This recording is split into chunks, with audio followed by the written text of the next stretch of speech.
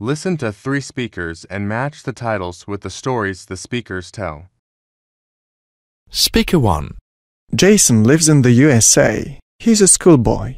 At the end of a long school day, he spends some time with his friends. All of them are fond of music. Music is Jason's hobby too. He often listens to pop songs and sings freestyle himself. Jason has even organized a boy band. He has also begun to sing in musicals. Speaker 2. Emma Roberts comes from a famous family. Her aunt is a world famous film star, Julia Roberts.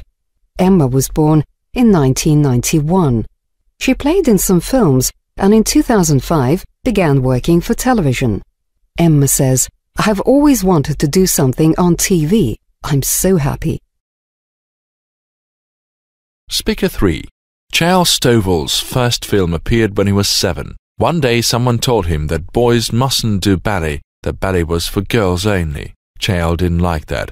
He made friends with some ballet dancers and learned a lot about their work. As a result, he made a film about ballet. In 1988, his film won first prize at the Children's Film Festival in Miami. In 2003, when Chael was 13, he was making his first Hollywood film.